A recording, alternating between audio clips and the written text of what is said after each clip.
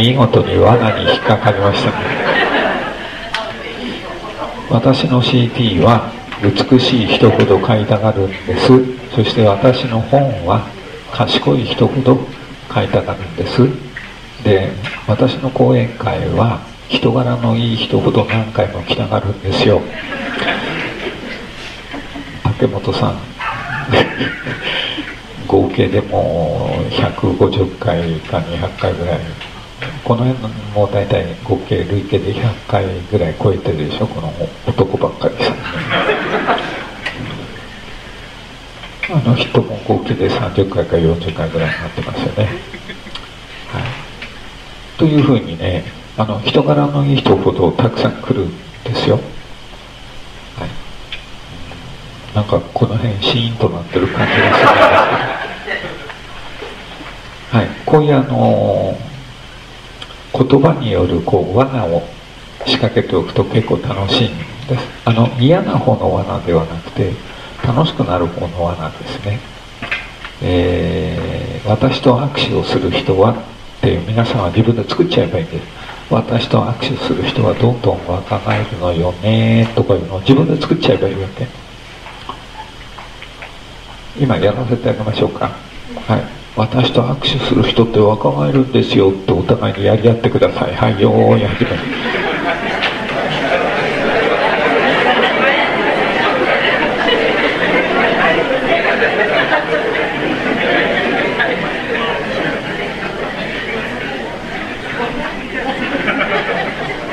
であの嫌な予言や悪しき予言っていうのはしない方がいいんですけどそういうなんか元気になったり楽しくなったりする予言みたいなものあの言葉の罠みたいなものをどんどんたくさん作っておくといいと思いますよ。とりあえず私は思いつくのは美しい人と賢い人と人柄のいい人ぐらいしか思いつかないのであとはどんな感じですかね。えー、まあいいや。あもう一つはねあのよく笑う人っていうのはね、えー、病気をしないんですよ。これは本当の話。これは言葉の罠ではなくて本当の話。で会場100人に対して1人ぐらい全然笑わない人がいるんです。最後の最後まで。会場に100人には2人ぐらい笑わない人がいるんです。で私はその全然笑わない人をこうねじっと見ながらねえー、7の840代後半とかいうのを全部覚えてるわけね、えー、今んとこ一度も笑ってない人が数人いますけどそのうちちょっと指名をしたりしますから早い段階で笑った方がいいと思いますよ。この人が笑わないと次の話に行きませんよって指名をしますから。面白いことにねその笑わない人まあ、私覚えてるわけですけども公演から終わってから来るわけですね。ポトがポポトッと来て。でまあ100人のうち50人ぐらい並ぶんですけど200人だと100人ぐらいの人が並んで本にサインをしてくれって言うんですけどもそういうね全然笑わない人は本を持ってこない。ただ質問をしたいだけで質問があるんですかあいいですよどうぞ。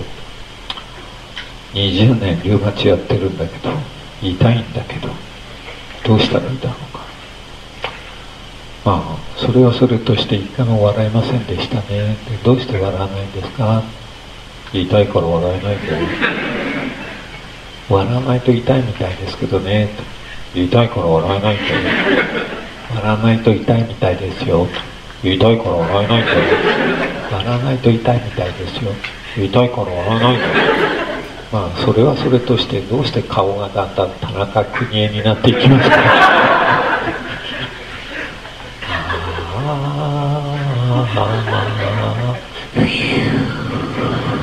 あ今の富良野の吹雪をやった時ちょっと北の国からちょっと一部、えー、実況中継に入りましたが、はい、で全然笑わないんですよこの人は。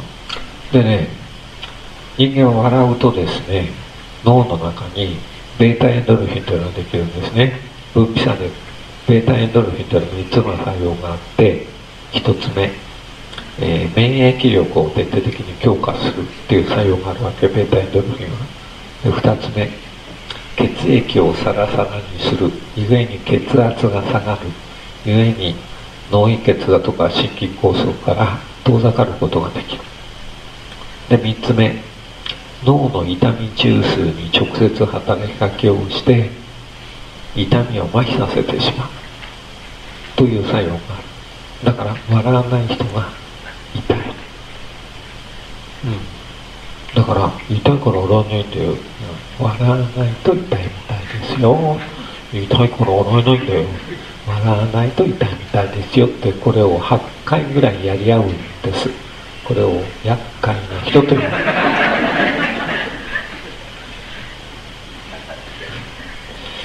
ほである人がね、えー、20年ずっとリウマチで苦しんでるって言うんですよね。大阪の人だった。そうですか。じゃあ笑顔になるっていうことが一つともう一つ大阪の人にとってはとってもいい方法論があるから、えー、それも覚えて帰ってください、えー、大阪空港行って札幌行くとか鹿児島に飛んでみるとかちょっとそういうのやってみてください。何ですかそれは。痛みから遠ざかるんです。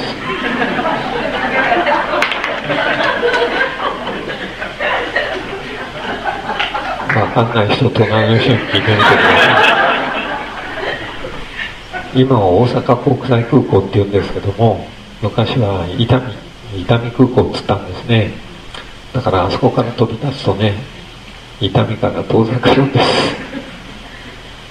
そしたら「何ですかそれは」とか言いながらその人は帰っていたんですね。不機嫌な顔で。3ヶ月後同じ場所で同じ大阪で講演がありました。なんとその人が来たんです。3ヶ月前にそういうふうに言った男ですけど覚えてますか？ああ覚えてますよ。大阪空港行って本当に乗ってみましたよ。そうですか。本当にやってみたんだってその人は。それで空港に近づくに従ってってご本人が言ってましたが何で近づいていったかは聞いてないのでモノレールで近寄っていったのか自家用車で行ったのかバスで近づいたのか電車は走ってないですよね。モノレールですよね一番近づくのはね。あとはタクシーとかありますよね。バスで近づくっていう方法もあるけどとにかく近寄っていく近づいていくうちにね自分の顔からねえー、笑いが出るようになったって。バカバカしくて。何か用事のついでに痛みから出ようっていうんじゃなくて本当にそのためだけに痛みに行って離陸することだけを目的に行ったんだそうですよ。でそういうのを自分でやりだした自分がバカバカしくて面白くて笑いが自然に込み上げてきたんだって。でまあ笑いがこみ上げてきたっていうのはそういうのを信じてやってる自分も可愛いなっていうのもあったんでしょうけどそれでね離陸をしてでシートベルトのサインが消えますよね。水平飛行に移った時にカチャッとこう外して体はどんなかなと思ったら20年代の痛みが消えてた。そうです。そして今も全然痛くないんですって言って笑顔で報告に来ました。よかったですね。実例報告。1分の1今んとこ100%です。成功率100%です。2人目の人が失敗をしても成功率50%で。すすごいですよ。今んとこ成功率100%ですから。はい。だから体が痛い痛いって言ってる人はね大阪空港行ってね飛び出すことをおすすめします、はい、そのバカなことをやるような自分っていうのはやっぱり笑っちゃうんじゃないですか。バカバカしくて。こんなことをやる自分なんて想像できないよね。でも20年の痛みから解き放されるんだったらちょっとこんなバカなことやってみようかなと思ってやってみるとバカバカしいので笑っちゃうらしいですよ。笑うこと自体がベータエンドルフィンを作ることだからもう痛み中枢に直接働きかけをして痛くなくなってるわかりましたか？あとねありがとうっていう言葉をずっと言い続けてもねベータエンドルフィン出ますで、ああ、幸せって言っててもベータエンドルフィン出ます。嬉しいって言っててもベータエンドルフィン出ます。嬉しい、楽しい、幸せ、愛してる、大好き、ありがとう、ついてる。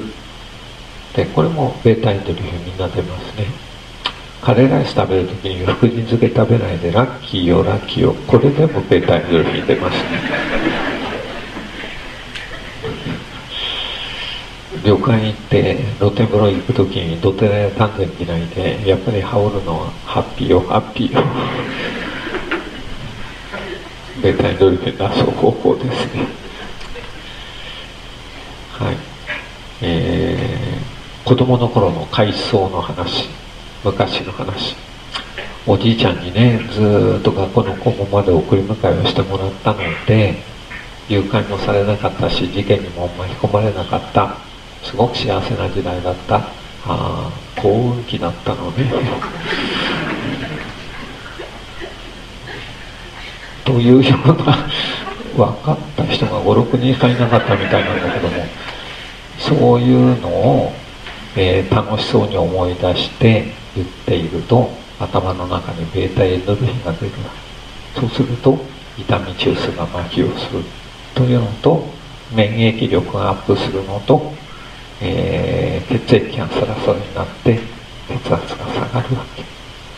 では皆さんその3つの効能を今味わわせてあげましょう。隣の人の方に手をポンと置いて面白い顔で来てくださってありがとう。ってお互いに喜び合ってください。はい用意始め。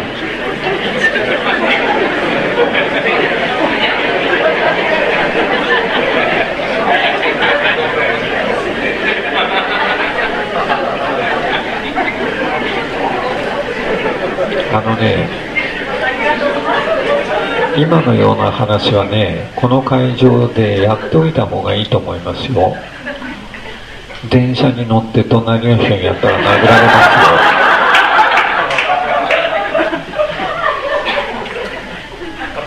飛行機に乗って隣の人にやったら怒られますよやっぱり。で映画館行って真っ暗闇の時にこうやって肩にポンと手を置いて面白い顔で来てくれた自分の顔鏡で見ろとか言われますよね。ね今日独身の人がいると思うんですけどね。いや今日だけって意味じゃないでしょ。独身の人はね木村拓哉のようなね整った顔立ちの男を選ばない方がいいと思いますよ。だって毎日楽しくないじゃないですか。朝起きて笑えないじゃないですか。皆さん今隣の人の顔見てごらんなさい。このくらいだったら笑えるっていう。でも木村拓哉が毎朝毎朝朝起きた時にいたのはもう面白くないから笑えないじゃないですかだから皆さんはこれから結婚相手を探す時は毎日笑えるような人を選ぶわけで毎日朝一番で面白いかなこの笑顔から一日が始まる、ね、そうすると向こうがお互い様だよね。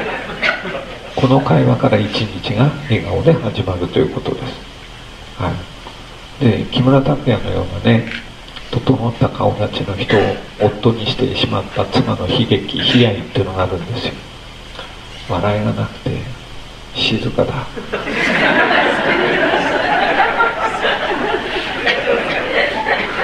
家の中が明るくなくてね苦労してると思う。私ねこの話を結構してるんですけどねなんか東京にね木村拓哉のお母さんが私の声に聞きに来てるらしいんですよ、ええ、木村さんって言うんですって。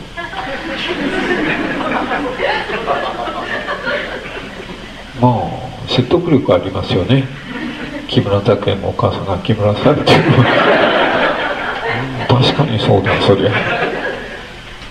でなんか東京の講演会に世界さんの話を何回も気に入ってるらしいっていう話を去る筋から聞いてね。えー、今の話は木村拓哉を褒めてることになるのだろうか？それとも褒めてないのだろうか？さあどっち？あ皆さん考えてますよね。まあ当事者じゃないからいいですよ別に。木村拓哉の拓哉のような人を夫にするっていう心配や確率はないのよ。よかったですよね普通の人で。で大体その笑ってる方が体にとってはいいみたいですよ。だからあんまりねいろんなことをね心配だ心配だって言ってると心臓と肺に負担がかかるでしょう。心配だ心配だって言ってると心臓と肺に負担がかかるんです。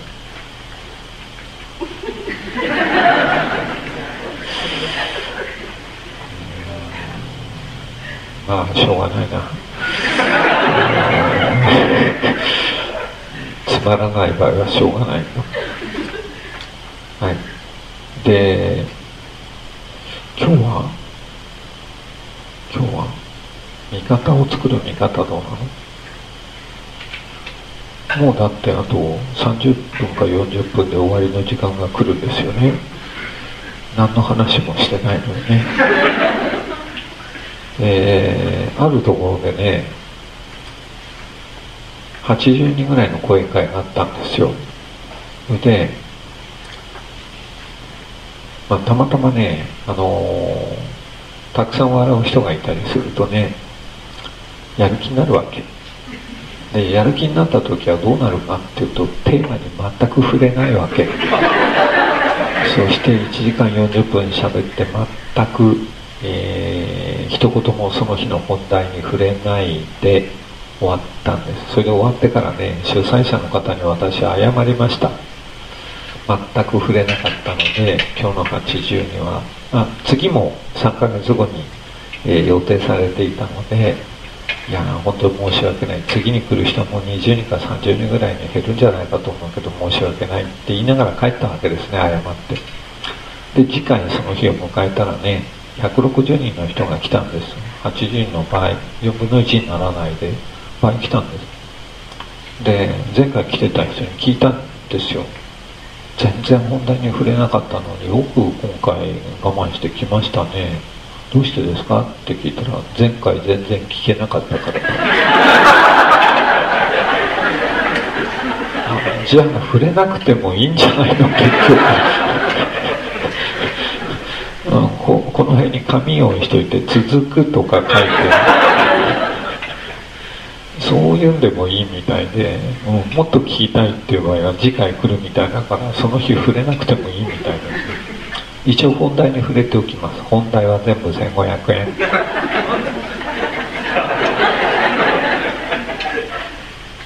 わかりましたか？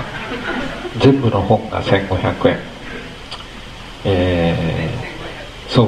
全部ねこの一言言いたいがために全部1500円で統一してる。で出版社によっては1800円でなければ採算が合わないんですとか言う人がいる。私は1500円の本しか作らない作らないので1800円だったらダメ作らないって言うとじゃあ1500円でやります。できるんじゃなくて その代わりね内容がね140ページ分ぐらいしかないのに文字を大きくして行間を開けてそれで200ページに無理やりしてる本もあるのでえー、いろいろ面白いです。